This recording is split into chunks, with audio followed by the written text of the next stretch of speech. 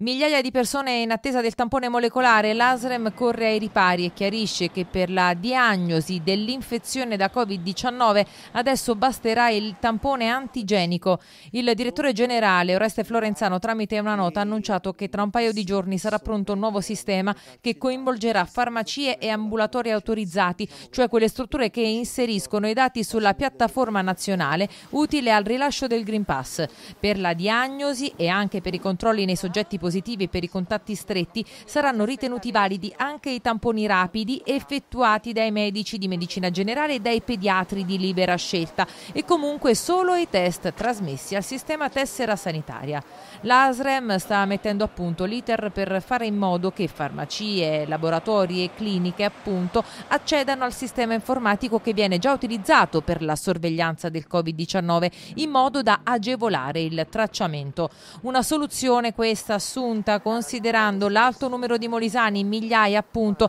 che sono in attesa del molecolare, un'attesa che al momento è almeno di sette giorni, se non di più. A proposito di tamponi, dagli ultimi 772 processati dal laboratorio di microbiologia del Cardarelli sono emersi 228 nuovi casi, con un tasso di contagiosità che è al 29,5%. Altri 58 positivi a Campobasso, 41 a Esernia, 32 a Venafro. Una persona di Cerce Piccola è stata ricoverata, una di Monteroduni dimessa e al momento al Cardarelli ci sono 23 pazienti Covid, 2 in terapia intensiva, gli altri in malattie infettive, 10 complessivamente non sono vaccinati. Infine sono state ribadite dall'ASREM le novità relativamente all'ultima circolare emessa dal Ministero e che non valgono per gli operatori sanitari inerenti il Green Pass e le quarantene. Chi ha un contatto stretto di un positivo e non è vaccinato o non ha completato il ciclo primario o lo ha completato da meno di 14 giorni rimane in quarantena per 10 giorni, ma sarà libero solo dopo un tampone negativo, molecolare o antigenico.